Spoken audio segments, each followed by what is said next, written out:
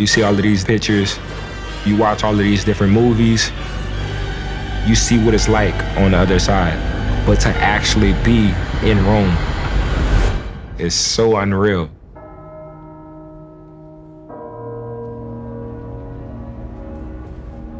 During the season, I'm so busy with football. In the off season, it's important to explore, to get out, expand your horizon, experience different things. Welcome guys. One of the most ancient cities of the world.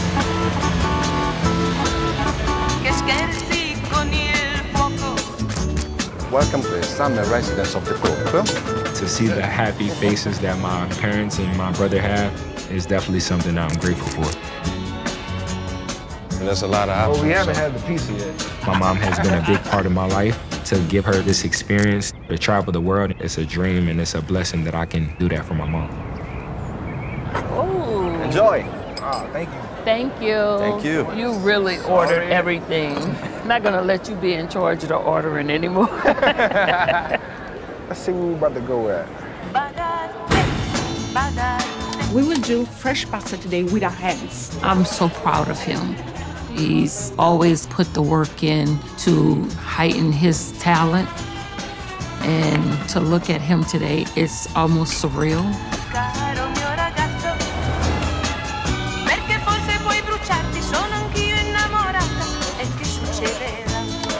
Traveling as a family is very important. I feel like we become closer together.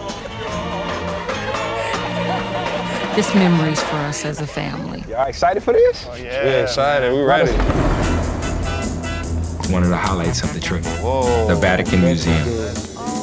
For us to be walking through there and pretty much having a solo tour is crazy.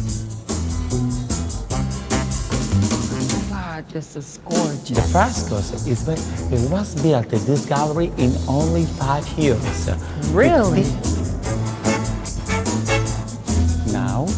you enter in the most important section is the Sistine Chapel. Oh my God. No cameras inside, please. Oh my.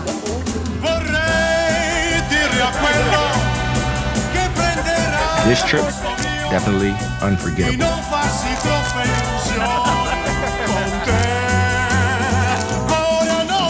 So, what's next?